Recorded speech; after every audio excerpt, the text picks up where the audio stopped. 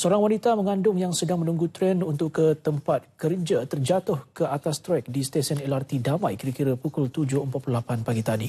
Wanita berkenaan berjaya diselamatkan Jabatan Bomba dan Penyelamat 7 minit kemudian. Dalam satu kenyataan oleh pihak Rapid KL, Sistem Platform Intrusion Emergency Stop PIES yang dipasang di platform telah berjaya menyelamatkan wanita berkenaan. Menurut Ketua Pegawai Eksekutif Rapid Rail Senan Berhad, Khairani Muhammad, PIES bertindak menghentikan tren yang sedang menghampiri platform secara serta-merta apabila ia mengesan ada objek yang terjatuh ke atas trek.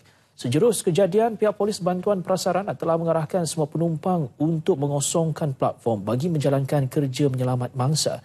Mangsa yang berusia 26 tahun dibawa ke Hospital Kuala Lumpur untuk rawatan lanjut. Sistem LRT laluan Kelana Jaya pulih seperti sedia kala pada pukul 8.15 pagi tadi setelah 25 minit mengalami kelewatan.